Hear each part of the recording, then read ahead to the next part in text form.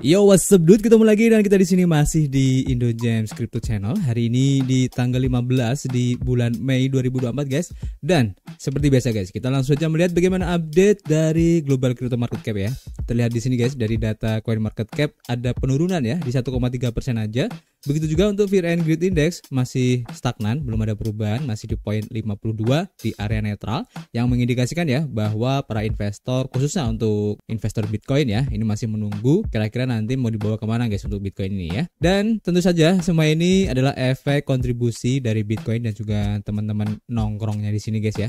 Kalau kita lihat untuk Bitcoin dalam waktu 24 jam ini ada kenaikan ya di satu persen cukup bagus dan mempertahankan harganya di 62.422 dolar guys ini cukup bagus. Kemudian untuk Ethereum meskipun masih merah ya bisa dibilang sideways perubahannya di 0,4 persen aja. Kemudian untuk BNB ada penurunan di 3,39 persen disusul oleh Solana ya masih merah juga di 1,9% guys. Dan memang kalau kita lihat di sini tampaknya untuk altcoin cukup bervariasi tapi didominasi untuk penurunan ya. Terlihat di sini banyak yang merah guys dan rata-rata perubahannya antara 1 sampai 3% guys ya. Kalian bisa cek sendiri di sini ya. Selanjutnya kalau kita lihat untuk perubahan yang terjadi dari pergerakan harga Bitcoin di sini ya, khususnya untuk time frame weekly, terlihat di sini ya untuk pergerakannya ini cukup bagus guys karena ada kenaikan ya untuk harga Bitcoin ini. Dan ini mengindikasikan bahwa di MA20 time frame weekly ini menjadi titik support atau area support yang cukup kuat ya untuk bisa ditembus untuk Bitcoin ini guys. Dan kita doakan aja semoga pola yang terbentuk ya di dua minggu sebelumnya yaitu pola doji di sini ya yang cukup panjang untuk shadownya. Ini bisa men-trigger pergerakan harga dari Bitcoin ini guys ya. Ini cukup bagus karena kalau kita lihat dari Bitcoin dominan sendiri ya ini sudah mulai ada kenaikan guys yang mengindikasikan bahwa arus masuk untuk uang itu sudah mulai terlihat ke Bitcoin guys dan kita doakan aja semoga ini terus bertambah oke okay? dan kita akan lihat nanti efeknya seperti apa untuk beberapa hari kemudian dan seperti biasa guys kita sudah mengumpulkan beberapa informasi yang cukup menarik hari ini. Yang pertama kita lansir dari Crypto Slate. Diinformasikan di sini ada lonjakan ya sekitar 133,1 juta dolar dari ARK ARKB ya, ETF-nya milik ARK Invest. Dan menurut data dari Fairsight, dana yang diperdagangkan di bursa ETF Bitcoin khususnya ini mengalami arus masuk sebesar 100,5 juta dolar. Dan ini menandai arus masuk terbesar ke dalam ETF ini sejak 6 Mei kemarin ya dan mewakili arus masuk selama satu hari berturut-turut ini. Dari 11 ETF yang dianalisis, 6 di antaranya ini mengalami arus masuk positif guys ya. Terlihat dari tabel di sini, kalian bisa cek ya. Di mana hari itu adalah milik ARK Invest ya, yaitu ARKB yang mengalami arus masuk sebesar 133,1 juta dolar dan itu terbesar ya sejak 27 Maret kemarin dan sehingga total arus masuknya menjadi 2,4 miliar dolar guys. Kemudian ada dari Fidelity yaitu FBTC juga ada kenaikan untuk arus masuknya ya sebesar 8,1 juta dolar saja sehingga untuk totalnya di 8,2 miliar dolar guys. Namun untuk BlackRock yaitu IBIT ini tidak mengalami arus masuk maupun arus keluar guys. Ini menurut data dari Fairsight ini. Kalian bisa cek sendiri ya dari tabel di bawah ini guys. Dan berkembang ini bertepatan dengan investasi terbaru dari Dewan Investasi Negara bagian Wisconsin dan Titan Global dalam ETF Bitcoin ini guys. Nah ini cukup menarik ya setidaknya ini bisa men-trigger untuk aset manager yang lain ya bagi para penggunanya untuk masuk lagi ke ETF Bitcoin guys. Jadi kita tunggu aja nanti seperti apa efeknya. Dan mungkin ini juga menjadi salah satu sebab kenapa Bitcoin hari ini bisa naik, oke? Okay? Selain itu guys, kalau kita lansir dari Cryptopolitan untuk informasinya di sini ada Runes ini sedang ada kenaikan yang cukup lumayan. Jadi token berbasis Bitcoin ini mendapatkan peningkatan kinerja di exchange atau di bursa ya. Jadi market untuk Runes ini sebagai generasi baru ya untuk token berbasis Bitcoin ini mulai berkembang ya dan menunjukkan volume yang terus meningkat dan beberapa pemenang yang jelas di mana Rune ini masih dalam tahap penemuan tetapi statistik dari OKX baru-baru ini ya ini menunjukkan bahwa perdagangan arus utama akan segera lepas landas atau akan naik guys. Atau istilahnya mah ngepam gitu ya. Di mana OKX juga berubah menjadi pusat informal untuk perdagangan Rune awal ini ya. Dan lebih dari 50% volume saat ini terkonsentrasi di bursa OKX di mana penemuan harga ini terjadi ya Dan kemunculan Runes ini mengikuti beberapa bulan untuk pengujian token BRC20 sebagai alat utama di jaringan Bitcoin dan Runes ini adalah aset spesifik berdasarkan catatan UTXO secara langsung ya yang pertama kali guys ditayangkan pada bulan April 2024 kemarin yang bertepatan dengan halving Bitcoin. Dan aset tahap awal ini ya dapat memberikan dampak besar pada ekosistem Bitcoin khususnya sekaligus menghindari bloat blockchain guys. Nah, ini menarik ya. Jadi kita tunggu aja kira-kira efek dari ekosistem runes ini apakah bisa mendongkrak untuk harga Bitcoin itu selanjutnya ya. Jadi kita tunggu aja karena memang runes ini cukup unik ya kalau kita bandingkan dengan BRC20 yang lain ya seperti Ordinals dan lain-lain. Nah, ini menjadi salah satu aset yang cukup menarik guys di kemudian hari karena ada beberapa keunggulan yang tidak dimiliki dari BRC20 token ya yang hanya ada di runes ini. Dan salah satu yang paling menonjol yaitu compatibility atau support ya untuk jaringan Lightning Network guys. Nah ini menjadi sesuatu yang sangat keren banget. Jadi kita tunggu aja nanti untuk perkembangan untuk ekosistem runes khususnya ya dan Bitcoin pada umumnya. Oke kita lanjut untuk informasi berikutnya. Seperti yang dilansir dari harian Yuda Today diinformasikan untuk spot Bitcoin ETF di mana ada alasan ya mengapa Vanguard ini akhirnya bergabung dengan BlackRock guys. Nah ini juga beritanya cukup menarik. Jadi untuk ekosistem ETF Bitcoin Spot ini mungkin akan segera mendapatkan pendukung besar baru ya dalam ekosistemnya yaitu adanya Vanguard yang akan segera bergabung ya. Meskipun ini masih spekulatif di mana perusahaan manajemen investasi senilai 7,7 triliun dolar ini yaitu Vanguard ini mungkin masih baru ya untuk industri ini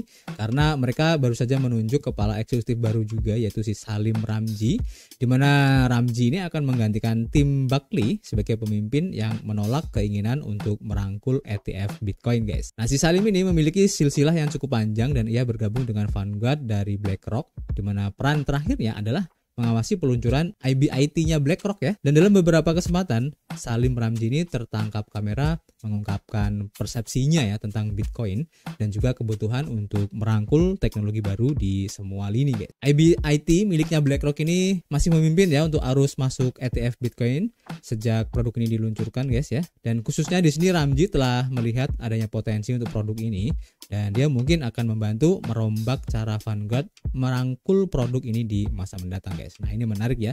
Jadi kita tunggu aja apakah memang benar nanti untuk Vanguard juga akan ikut serta ya dalam kompetisi ETF Bitcoin Spot ini dan apakah benar akan bergabung dengan BlackRock? Ini menjadi sesuatu yang cukup menarik guys. Oke, lanjut kita untuk informasi berikutnya. Kita lansir dari harian Coin Edition diinformasikan di sini untuk El Salvador ya. Ini akan segera menambang Bitcoin menggunakan tenaga gunung berapi guys. Yang tentu saja jika sudah terrealisasi ini bisa meningkatkan kepemilikan dari Bitcoin untuk negara El Salvador ini guys. Ini keren banget ya. Jadi negara El Salvador ini telah meningkatkan kepemilikan Bitcoinnya ya secara substansial dengan menambang hampir sekitar 474 Bitcoin ya dalam tiga tahun terakhir ini.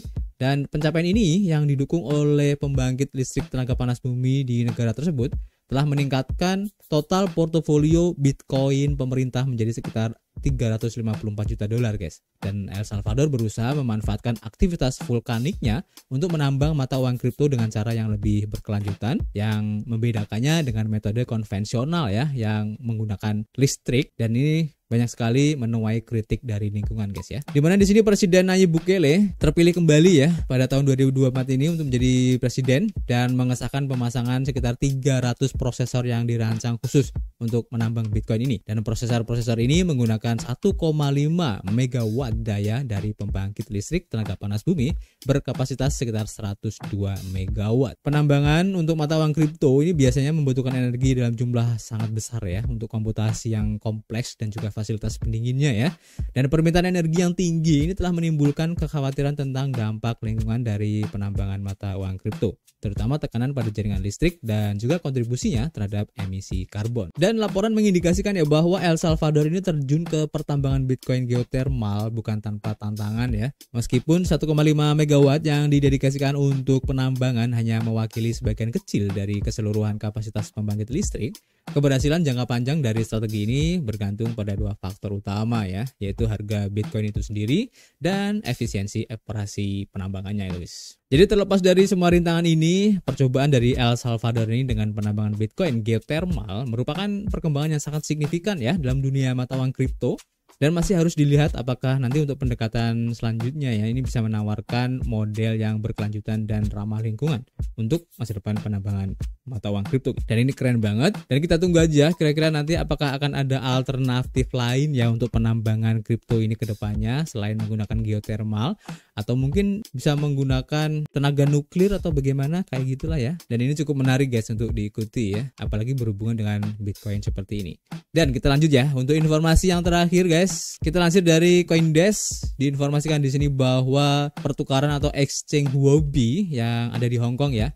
Ini menarik kembali permohonan lisensi untuk kedua kalinya guys. Jadi HBGL Hong Kong Limited atau Huobi-nya Hong Kong lah ya. Sebagai entitas di balik Huobi Hong Kong, pertama kali menarik diri dan kemudian mengajukan kembali permohonan lisensi VATP Hong Kong pada bulan Februari. Anak perusahaan HTX atau Huobi yang berbasis di Hong Kong ini sekali lagi menarik kembali permohonannya untuk mendapatkan lisensi perdagangan aset virtual di negara tersebut. South China Morning Post pertama kali melaporkan bahwa Huobi Hong Kong telah menarik lisensinya dan sebuah email ke juru bicara Huobi Hong Kong yang dioperasikan oleh HBGL Hong Kong Limited belum dibalas hingga berita ini diturunkan guys. SFC Hong Kong memposting pemberitahuan di situs webnya yang menyatakan bahwa platform ini yang gagal mengajukan aplikasi lisensi harus ditutup ya pada 31 Mei nanti dan SFC tidak menjelaskan mengapa aplikasi tersebut ditarik guys. Banyak pertukaran kripto utama ya termasuk OKX, Crypto.com yang merasa bullish ya dan saat ini sedang ditinjau lisensinya oleh dan pada Juni 2023 Justin Sun dari Huobi ya atau HTX ini mengatakan bahwa Huobi Hong Kong ini akan memiliki lisensi dalam 6 sampai 12 bulan guys. Dan Huobi menyatakan bahwa Huobi Hong Kong adalah entitas yang sepenuhnya terpisah. Jadi ini cukup menarik dan kita tunggu aja nanti seperti apa untuk keputusannya ya dari SFC dan kalau memang bisa disetujui maka ini akan menjadi pintu gerbang ya yang lebih masif lagi guys untuk adopsi kripto pada khususnya ya. Dan ini cukup menarik dan semakin banyak ya negara-negara yang akan welcome untuk kripto ataupun aset digital ini guys. Dan kalau kita melihat dari berbagai perkembangan yang ada ya sudah mulai banyak instansi-instansi baik pemerintahan, perbankan, pendidikan dan lain-lain ini sudah mulai mengintegrasikan teknologi blockchain ke dalam sistemnya guys. Dan ini cukup menarik dan kita akan update lagi nanti ya jika ada perkembangan yang signifikan oke guys dan untuk informasi hari ini cukup ya. Nanti kita akan share lagi jika ada informasi yang menarik di Twitter. Kalian mampir aja di situ. Dan untuk rekomendasi project baru yang lagi ngadain airdrop, pre-sale ataupun testnet ya. Kalian bisa cek mampir di akun Telegram. Kalian bisa cek di deskripsi untuk linknya. Dan seperti biasa guys, kita masih menunggu ya kritik dan saran kalian di kolom komentar. Nanti kita bisa ngobrol banyak di dalamnya. Dan tentu saja, kita akan ketemu lagi di informasi berikutnya. Peace. Thank you.